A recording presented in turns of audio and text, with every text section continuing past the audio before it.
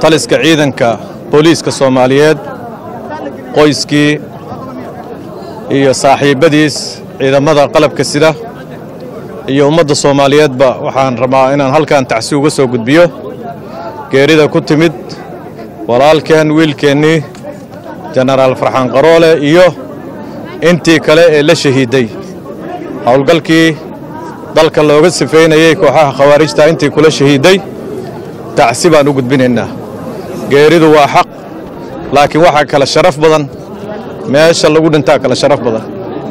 Wuxuu dhintay farxaan iyo raggii la dhintayba ay ku shahiideen ayagoo cadowga baacsanaya ayagoo dalkooda iyo diintooda difaacaya ayagoo sharafta iyo karaamada ummadda soomaaliyeed u taagan ayay shahiideen. Waxaanan ilaahay agtiisa uga rajaynaynaa inuu u aqbalo shahaadadooda qoyskaas si gaara aabbaha iyo hooyada iyo xaasaska iyo carruurtiisiina waxaan leennahay sabar iyo iimaan. Allah ka siiyo iyo beddel khayr qaba.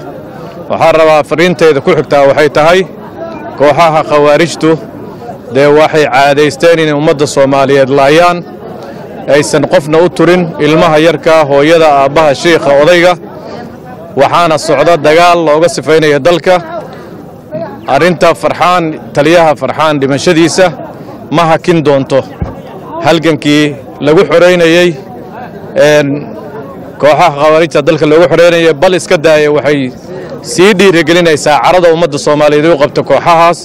Waayo daday jecel yihiin taliyaalay jecel yihiin iyo wiilal la jecel yahay ayay faragashadeen oo dileen.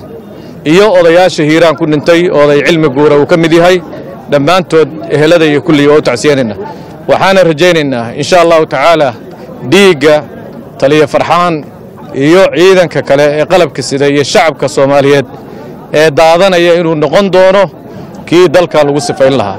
Waana yahay waana loo guntaday. Fariintii madaxweynuhuna maanta way ahayd sidaas. Waxaan leennahay ummadda soomaaliyeed ha u soo wada jeestaan.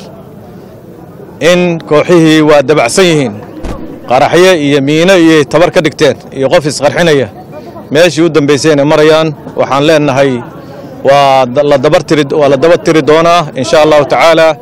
Halgankanu waa siduu u bilowday. Dhiiggaanna waxaa lagu sifayn doonaa farxaanna meelo waaweyn baa lagu magacdari doonaa taliyaha. Haddii ilaahay yidhaahdo aad iyo aad baan u mahadsantihiin taliska taliyaha iyo waxaan rajaynaynaa inuu naga gudoomo anigoo guddiga iyo qabanqaabada ee xafiiska prime ministerku soo magacaabay. Wakiil uga ahaa tacsida. Si gaarana waxaan rajaynaynaa ilaah iidankiis in ummadda soomaaliyeed oo dhan ay u wada guntato qofo maalin bay ayay rabaan inay gaadaan laakiin hadda halgan xooggan oo wada socda oo shacabkii iyo dowladdii ayaa socday iyo adduunkii in markaan lagu soo gebagabeeyo arrintan saxaafaddana waxaan ka codsanaynaa halganka inay qayb ka noqdaan. Brobagandada oo kooxaha argagixisada iyo maaragtay niyad jebinta dadka halgamayana inay ka waantoobaan waayo waa og tihiin shalay waxaa dhintay saaxiibkiin ayay qarxiyeen. Idinkuna sidaasoo kale in kaleoo tiro badanna way qarxiyeen. Waxaa weeye kooxahaas hadalkooda faafinta hadalkooda wuxuu qayb ka yahay in la dhiirogeliyo waxay samaynayaan. Waxaan rabnaa saxaafaddu inay waajib gaara iska saarto furant culimmadii dagaalki waa ku jiraan odayaashii waa ku jiraan ciidankii waa ku jiraa shacabkii waa ku jiraa.